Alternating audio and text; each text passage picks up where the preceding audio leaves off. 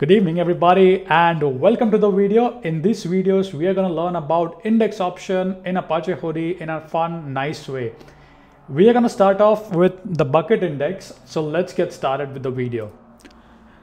Apache Hudi has two index option that is, uh, you know, basically global and non-global index. So first of all, global index can be used when you require uniqueness across all the partition. Non-global index can be used when uniqueness is not required across all the partition. Now let's discuss about the bucket index in detail.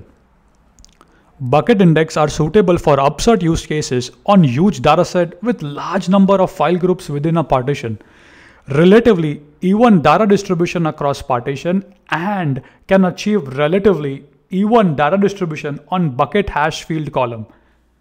It can have a better upsert performance in these cases due to no index lookup involved. This is very important. As the file groups are located based on a hashing mechanism, which is very fast.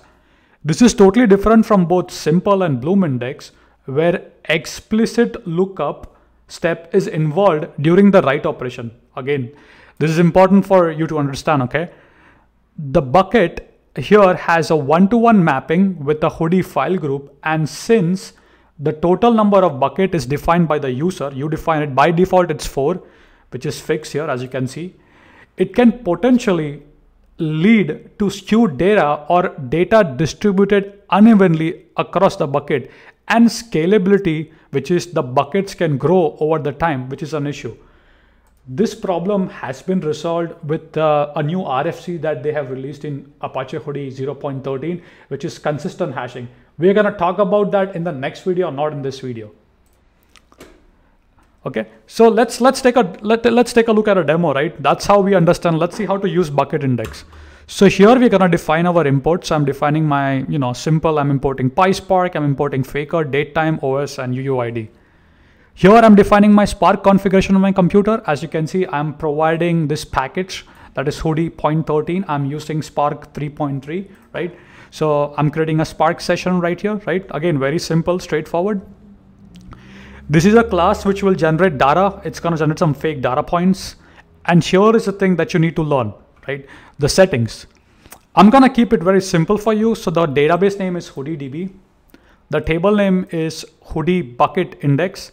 The record ID is employee ID and the state, okay? I'm using uh, a composite key here, okay? This is the path to my data lake. Precom key is used for dedupe purposes. Method type as upsert, table type as copy on write. Now, bucket index hash field. So what does this mean is basically, uh, you know, when a record goes right, Hudi is basically will have its internal hash function, right? And that hash function will tell uh, this record should go into the which bucket, bucket 0, 1, 2, 3, right? So I am saying to the Hudi when you perform that hash, perform that hash on a column called state. I'm choosing that column. So here I'm saying the to Hudi and again, you can come and read here index key field value to be used as a hashing to find the bucket ID. Okay. So basically that's that. And the partition is here. So basically I'm to partition my data lake by year. So inside the year, I'll see all these bucket, right? Um, which will be hashed on the state, right? You'll see, you, you'll see this in action again. Now, you can set the upsert shuffle parallelism. Again, you can play with that number, right? So here are the settings. Uh, I'm gonna zoom out a little bit so you guys can see.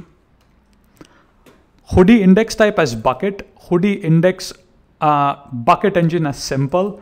Then I'm defining the number of bucket as four. You can change the number by default. If you don't provide, it's four. And here I'm providing on the column on which I want to perform the, uh, the hashing, right? I'm saying Hudi, please perform that on the state. And then here I'm using the partition on here, right? So I'm basically going to partition that by here. So I'm going to generate uh, a thousand data points and I'm going to perform an insert into my you know transactional data lake. Again, my data lake is on my computer. I'm doing everything locally. The entire notebook and the XSS file is readily available for you to download and play with it. So I really want to show you something. So let me go quickly to the temp where my data lake is. So here, observe you see uh, these are all folders created right now if i go to a folder observe something carefully right do you see a number 00001, 0001, 0002, 002, 003? So that's basically that bucket that we were talking about. So I told Hudi that maximum you can do like four. So if I open one of the Parquet files that is 001, now remember I did that hashing. I told Hudi to do the hashing on uh, state, right? So for example, if I really want to show you, so if you see California and Florida is in, in 001, and if I open 003 in the same year, of course, 1984, uh, you see Texas RJ, right? So basically, what I'm trying to say is basically, I told Hudi that perform the hashing on the state column, right? So now when I issue a query, like I say, hey, give me, or basically when you want to, when you want to perform an upsert, for example, uh, upserting the data to let's say 1984 uh, for the state of let's say California or let's say uh, Connecticut city, right? It will be much more faster, right? Because it will avoid that index lookup, right? Now, one of the downsides, I wouldn't call a downside, but again, the number of buckets, as I said in the beginning, right? You have to define the number of buckets. Now, in the new RFC, they have came up with consistent hashing, which means the bucket size can dynamically grow and reduce. We're going to talk about that in the next video, okay? So, but yeah, again, uh, you know, here you can see 30.5 seconds, uh, you know, for the upsert. Uh, works pretty great, right? Um, and here are all the references. If you wanna, you know, dive into more detail, please feel free and read this uh, a little more. Again, uh, in this video, I have discussed about bucket index type in Apache Hudi.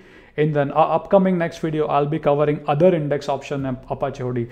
Maybe we'll come cover cover up uh, global global index in which we're going to cover Bloom. Then we're going to cover um, non-global index. In that we're going to cover, we already covered bucket index. We're going to cover, uh, I guess, consistent hashing and a couple of more of that. But those are in the next video. I'll perform, I'll give you the lab exercise so you can play with it. You can see what settings to use, right?